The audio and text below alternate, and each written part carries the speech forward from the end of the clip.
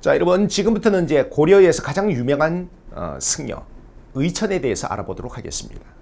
자, 여러분 이제 의천은 왕자 출신이죠. 자, 문종의 넷째 아들입니다. 어, 당시 이제 고려는 어, 누가 뭐래도 이제 불교 국가죠. 그러니까 나라를 다스리는 데는 유교 이념이 사용됐지만 어, 실제로 왕실이나 귀족, 그다음 이제 백성들이 신봉하고 있는 종교는 불교였습니다.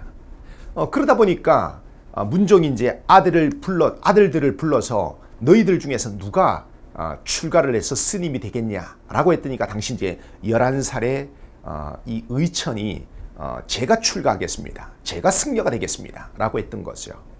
그래서 이제 어, 영통사에서 어, 승려 생활을 시작을 합니다.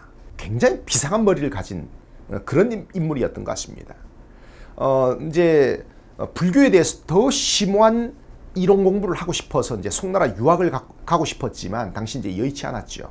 나중에 이제 결국 나이 서른이 되어서 어, 송나라 이제 유학을 하게 됩니다. 그래서 이제 송나라에 가서 어, 천태종을 이제 연구하게 되죠. 그리고 이제 어, 귀국할 때 어, 불경 3천여 건을 가지고 이제 귀국을 합니다. 자, 의천은 그 뒤에 어, 흥왕사 주지가 돼서 활동을 하고요. 그다음에 이제 어, 나중에 이제 국청사를 창건합니다. 국청사. 그래서 이제 이 국청사 주지를 지내면서 어, 교종의 입장에서 선종을 통합하는 어, 그래서 이제 해동천태종이라고 하는 어, 새로운 어떤 불교종파를 창시하는 인물이 바로 어, 의천이 되겠습니다. 자 이때 의천이 이야기한 그 수행 방법이 뭐냐? 그러니까 좀, 좀 어려운 말입니다만 교관겸수라고 합니다. 교 어, 가르친다. 이건 이제 어, 불경 공부죠. 그 다음에 이제 관 직관 이건 이제 수행입니다. 선수행입니다. 그래서 이제 어, 불경 공부와 수행을 함께 한다는 게 함께 해야 된다는 것이 바로 의천의 어, 수행 방법이 되겠습니다. 자, 이 말이 바로 어, 좀 어렵지만 교관겸수라는 말이 되겠습니다. 자, 나중에 이제 의천은 어, 뭐라고 불리게 되냐? 대각국사라고 불리게 됩니다. 대각국사. 자, 여러분 대각국사라는 것은 뭡니까?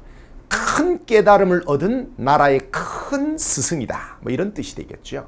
자, 여러분 그래서 고려 시대를 대표하는 승려가 누굽니까? 라고 하면은 바로 어, 누가 뭐래도 이 의천을 일본으로 꼽게 되는 것이죠. 이 고려에서는 지금의 우리 뭐, 어, 뭐 설이나 어, 추석 같은 그런 이제 국가적인 명절이 있었는데 어, 연등회와 팔간회라고 하는 이 불교 행사가 있는데 이게 둘 다 이제 불교와 관련된 것입니다. 자, 뭐 연등회는 지금은 이제 4월 초파일 바로 석가탄신일에 우리가 이제 연등회를 하는데요. 연등을 하는데요. 고려 시대는 정월 대보름에 하는 경우가 일반적이었고 그다음 이제 석가탄신일 4월 초파일에 하는 경우도 있었답니다. 어, 당시 이제 연등회가 얼마나 규모가 크냐면은 당시 이제 문종 때 기록을 보면 어, 개경에 3만 개의 연등이 걸렸다는 그런 이야기도 있습니다. 당시 이제 개경 인구가 한 20만 되니까 어, 연등이 한 3만 개가 걸렸다고 하니까 이거 어마어마한 거죠. 자, 그다음 이제 5일 동안 이 연등 행사가 어, 벌어졌다 뭐 이런 이야기도 있습니다. 자, 근데 이 연등회보다도 더 규모가 큰 게 바로 팔간회가 되겠습니다. 이 팔간회라고 하는 것은 사실 순수한 불교 행사는 아니에요.